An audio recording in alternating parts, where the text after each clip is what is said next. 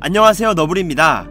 여러분들께 8월 1일 수요일부터 8월 4일 토요일 그리고 8월 5일 일요일까지의 생방송 일정표를 알려드리도록 하겠습니다. 아참 수요일 생방송이 8시로 바뀐 건 다들 알고 계시죠? 자 그럼 지금부터 저 리타가 생방송 일정표를 알려드리도록 하겠습니다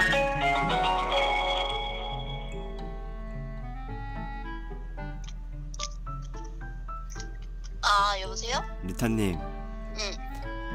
8월 1일 수요일 1부는 히어로 영웅대전이에요 응. 그리고 2부는 신들의 전쟁이고요 응. 인성 개 터졌네요 반응 제대로 안 해요?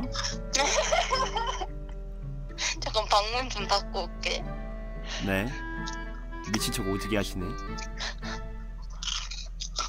또 뭐 먹어요 오징어 땅콩. 8월 4일 1부는 뭐게요 틀렸어요 아기와 나예요 아씨.